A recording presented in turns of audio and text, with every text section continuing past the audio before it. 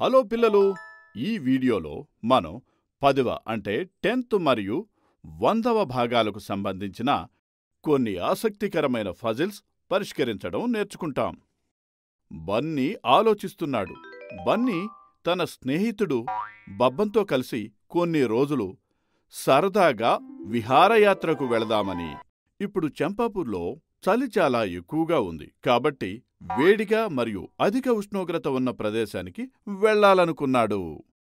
బన్నీ వెంటనే తన టీవీలో వార్తలను పెట్టాడు. వివిధ ప్రదేశాల ఉష్ణోగ్రతలు వార్తలలో చూపించబడుతున్నాయి. ఇక్కడ కనిపిస్తున్న ఈ ప్రదేశాలలో ఏది అత్యధిక ఉష్ణోగ్రత కలిగి ఉంది? బన్నీ ఆలోచించసాగాడు. పిల్లలు రండి. మనం బన్నీకి సహాయం చేద్దాం. అత్యధిక ఉష్ణోగ్రత ఉన్న ప్రదేశాన్ని కనుగొనడానికి మనం ఈ ప్రదేశాలలో చూపిన ఉష్ణోగ్రతలను డిగ్రీ సెల్సియస్లో పోల్చి చూడాలి. రండి.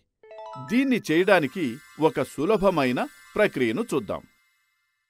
పిల్లలు మనం ఎప్పుడైనా దశాంశంలో అంటే డెసిమల్లో వ్రాసిన సంఖ్యలను పోల్చాలనుకున్నప్పుడు మొదట మనం దశాంశ బిందువు.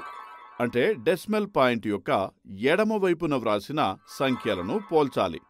ఆపై కుడి లేదా పదవ స్థానంలో వ్రాసిన సంఖ్యలను పోల్చడం జరుగుతుంది. ఇదిగో ఇక్కడ ఒకసారి చూడండి. మొదటిగా ఈ ఉష్ణోగ్రతల యొక్క పదుల స్థానంలో వ్రాసినటువంటి సంఖ్యలను పోల్చుదాం.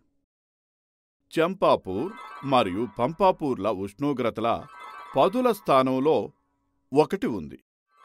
మరియు ఉల్టాపల్టా నగర్ మరియు మాయానగర్ పదుల స్థానంలో రెండు ఉంది.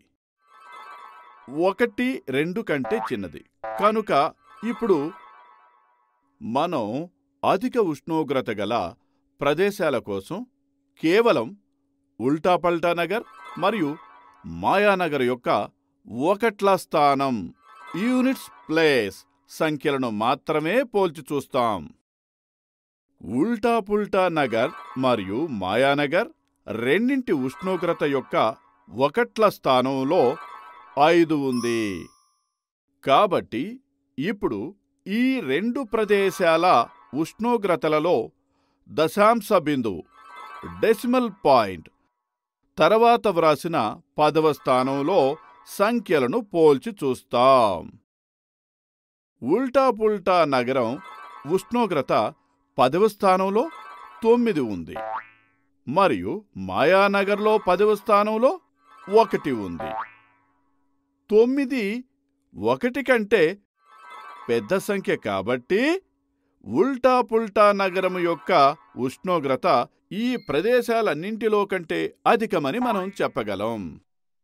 మనలాగే బన్నీ కూడా అత్యధిక ఉష్ణోగ్రత గల ప్రదేశాన్ని కనుగొనడం జరిగింది. బన్నీ మరియు బబ్బన్ ఇద్దరూ కలిసి కొన్ని రూపాయలు పోగు చేశారు.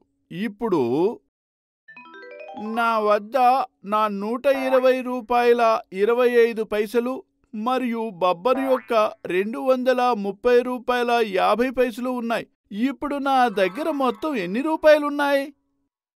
అని బన్నీ ఆలోచించసాగాడు. బన్నీ వెంటనే ఒక కాగితంపై ఈ సంకలనం రాశాడు. నేను మొదటగా ఈ సంకలనంను సాధారణ సంకలన ప్రక్రియగా చేస్తాను.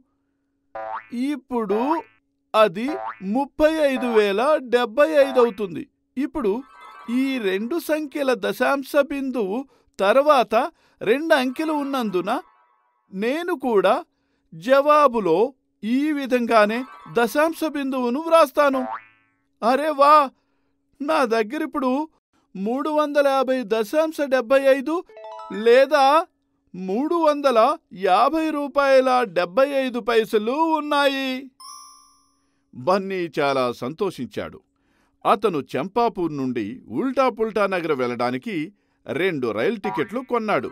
మరియు బన్నీ మరియు బబ్బన్ కలిసి సెలవుల కోసం ఉల్టా పుల్టా నగర్ చేరుకున్నారు.